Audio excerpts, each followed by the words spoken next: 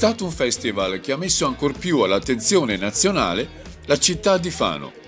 L'undicesima edizione del Festival Passaggi ha superato tutti i record precedenti, concentrando in cinque giorni 137 eventi di grande levatura culturale, tanto che non c'è stato evento che non ha fatto il pieno di pubblico.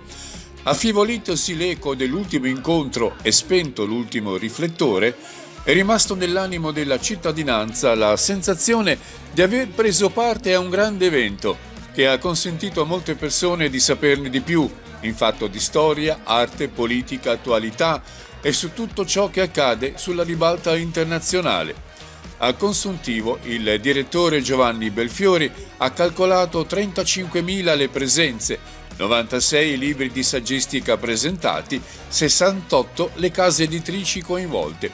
E già oggi si comincia a studiare come organizzare la prossima manifestazione, come reperire i fondi e migliorare ulteriormente l'aspetto organizzativo, un aspetto basato sulla grande risorsa del volontariato. Mentre il comune di Fano sostiene adeguatamente il festival, la regione potrebbe fare di più e su questo lavoreranno i consiglieri regionali Luca Serfilippi della Lega e Marta Ruggeri del Movimento 5 Stelle. Il Festival Passaggio ormai è tra i migliori tre festival del genere a livello nazionale.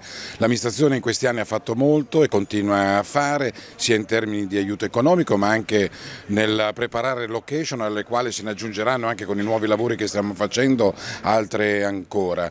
Però diventa importante che arrivino anche rinforzi maggiori da altre istituzioni istituzione come la Regione, che devo dire per il decimo anno è stata molto presente, presente anche quest'anno, eh, però eh, visto eh, il livello che ha raggiunto diventa veramente un evento eh, di riferimento anche per la Regione Marche quindi che possa esserci una programmazione non annuale ma almeno triennale come facciamo noi. Un dato importante è la contemporaneità degli eventi. Eh, in effetti la contemporaneità è una, eh, dire, una cosa positiva e una cosa negativa allo stesso tempo. Ti dà la possibilità di avere una varietà di offerta molto ampia ma ovviamente ti chiede di scegliere e qualche rinuncia la devi fare per forza. È una caratteristica di tutti i grandi festival festival nazionali. Ci sono ancora dei problemi? Ma eh, sì, i problemi quelli economici non finiranno mai, credo, perché ci sono sempre e comunque. Eh, stiamo chiedendo rassicurazioni al Comune, stiamo chiedendo rassicurazioni alla Regione eh, e anche vorremmo che nel futuro ci siano, come dire, arrivino qualche sponsor nuovo, qualche sponsor in più, non farebbe male. Più che altro la richiesta è di continuità nel tempo. Avere per esempio un imprenditore privato o anche un ente pubblico che ti dà la garanzia di una, di una sponsorizzazione, di un contributo di tre anni anziché uno solo, eh, vuol dire già moltissimo.